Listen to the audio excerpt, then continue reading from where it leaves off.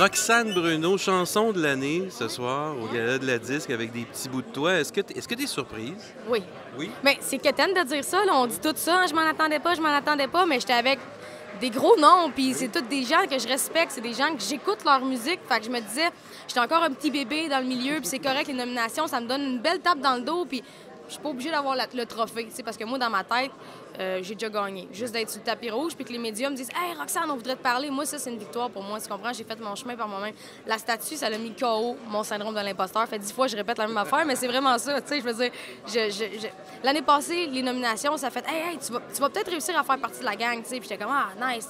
J'avais moins le syndrome de l'imposteur. Là, c'est terminé. Je sais que j'ai ma place, puis je l'ai faite par moi-même grâce à mes cocos. Fait que, ouais, et en fait, ta trajectoire aussi, tu as été portée par un vrai support populaire, des gens qui te suivent, des fans.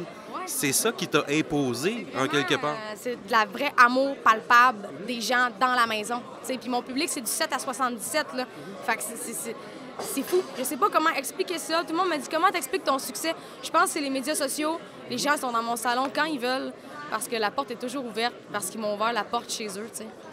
Et des petits bouts de toi, euh, parle-nous de cette chanson-là, comment elle est née, cette chanson-là, l'inspiration, euh, la genèse, la chose. Ouais, je viens de me faire poser la question. Moi, mon album, là, je l'écris depuis que j'ai 10 ans. Là. C'était... Je me suis pas assis un jour avec une production pour faire Hey, on fait un album. Non, non. J'écrivais des petits textes, des petits poèmes à l'école, puis ça a fait mes chansons. Fait que je peux même pas dire quand je l'ai écrit, cette chanson-là. Je m'en rappelle même pas.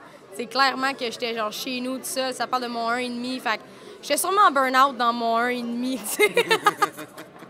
Parle-nous de la chanson en tant que telle, le texte Ben, de cette la chanson. moi, je, moi, je trouve que c'est un hymne à l'amour.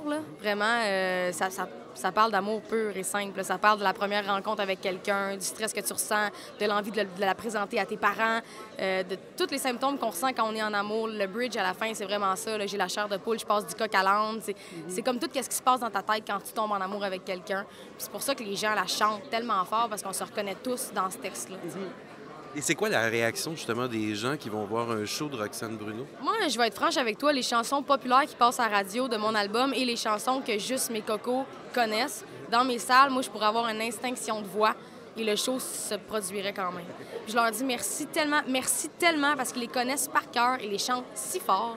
Puis des petits bouts de toi, puis la chanson Je suis pas stressée, je pourrais ne je pourrais pas, je pourrais arrêter de chanter et faire allez-y. Je suis pas stressée, en fait, le rappel, c'est le monde qui la chante, là, tu sais, c'est- fou, là.